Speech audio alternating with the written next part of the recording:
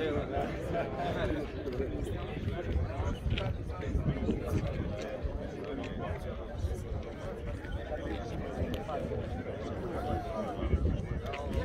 ona nije mogla ispuniti za tiranu jer nije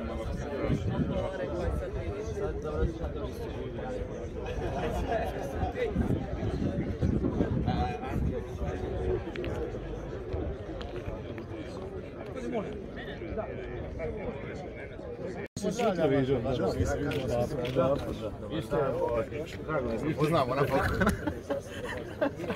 Šta? Znam, znam, vidio sam mail, da, danas, Je to namjerno ili... ne, ali dobro, pričat ćemo. Pričat ćemo, pričat ćemo. Danas je drugi trenutak. Pa nemojmo da žalimo damu u noć.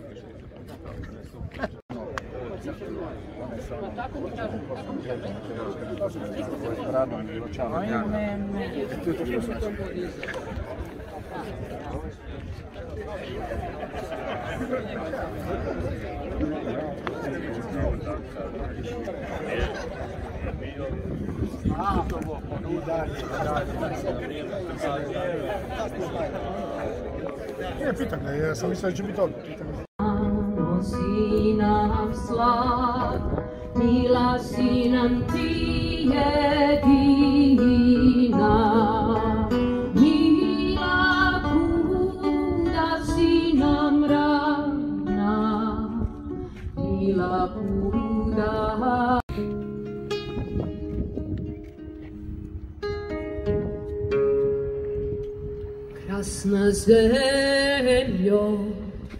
η Λιστρομί. love, do me.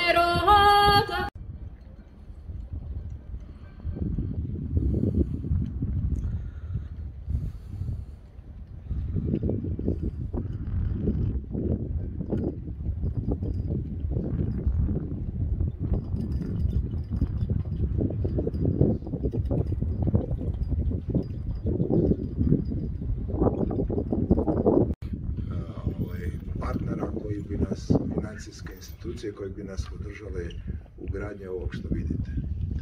Nastavljamo sa realizacijom dva dodatna projekta, odnosno cijeline.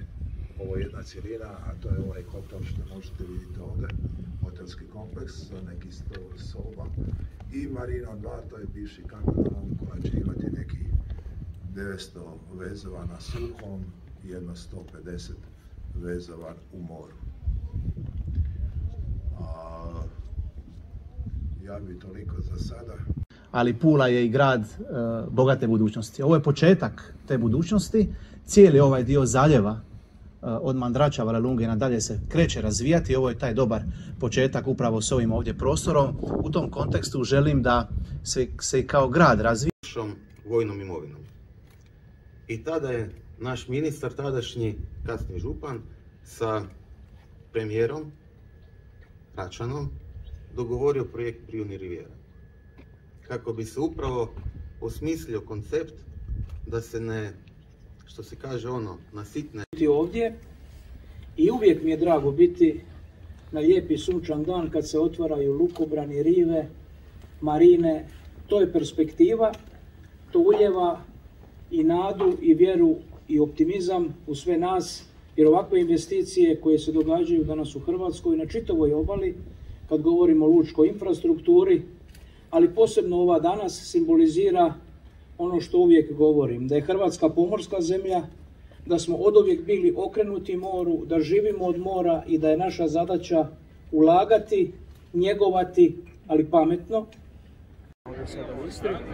Naravno, činjenica je da je investicija dugo trajala, da je bilo puno problema, ali evo, dočekali smo konačno taj dan i činjenica je da ovakve investicije doprinose i razvoju ne samo Istarske županije, nego i Hrvatske, novih preko 300 vezova, od toga je 264 mokra, tako kažemo 42 suha veza sa svim popratnim sadržajima, donosi jednu novu dimenziju i ovaj prekrasni zaljev koji je prirodno zaštićen zapravo kreće u jednu novu fazu, da tako kažem, razvoja, budući da je ovdje do prije nekoliko godina bila i vojska i da je bilo dosta zapušteno, tako da u tom smislu čestitam investitoru, veselim se novim investicijama. Vi znate da mi danas na Jadranu imamo investicija što se tiče obnova luka i riva preko 2 milijarde kuna.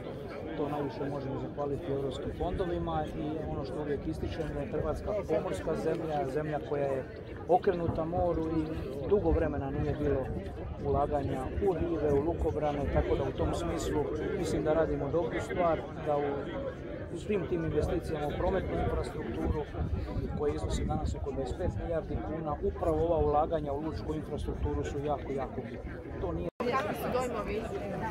Čujte, emocionalno. Čovjek to doživljava, lijep dan, emocije, emocije, ali dobro, ne vrtiš konkretan film šta je bilo, ali pojedini ljudi koji su prisutni to osjećaju se, aha, bio je dobro, bio je bio je mukama, nije završen, ali se nadam da neki drugi vjetrovi će se pojaviti, gdje će ljudi preći shvatiti. To nije naš projekt, to je projekat i grada, i županije, i republike. Svima je u interesu da se ovako nešto dešava. Nažalost, u dosadašnjem periodu nismo bili sami, bilo je pojedinaca, pa i institucija koje su nas podržavale. Kažete